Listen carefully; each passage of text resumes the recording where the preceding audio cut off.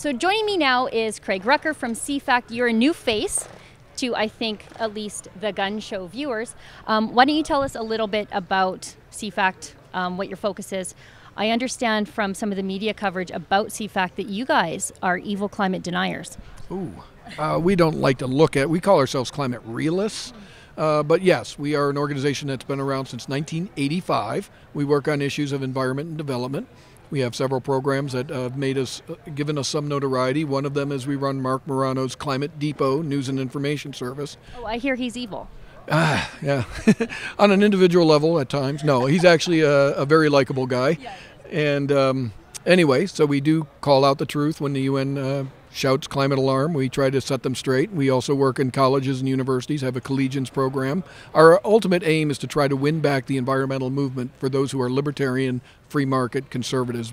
We think it's been hijacked by those on the left, uh, and we would like to see it return properly to our side of the uh, political spectrum.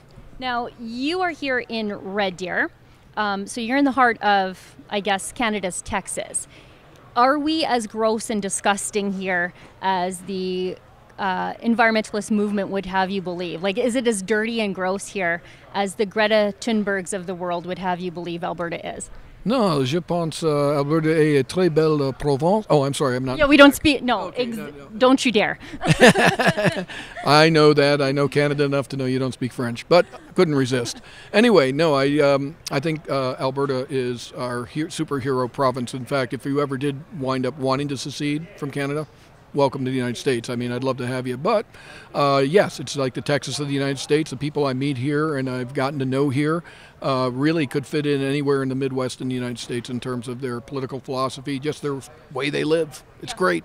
Well, and that's uh, it's funny because uh, we are at a, a conference where you know people are discussing what going forward in Canada looks like for Alberta, and I that's my number one argument is that our economic troubles stem from our cultural divide from the rest of the country. I think we're more culturally aligned with our friends to the south to the south of us with regard to um, issues of climate change, gun rights, um, uh, how our economy is built. So Alberta largely agricultural, petrochemical, and uh, the rest of the country looks down on those things. There's mm. a huge cultural divide, um, and uh, you know it's it's great to hear an American say you know, we're very much like you because oh, yeah. as a Canadian, I feel like I'm very much like you and not at all like a Torontonian. With, with, with a with a few things, a uh, I do think that you, uh, yeah, there you go. Uh, there are a couple things that maybe language-wise are a little different, but no, on balance, uh, I think you are correct. I think that really you uh, culturally are very similar. I don't feel a whole lot different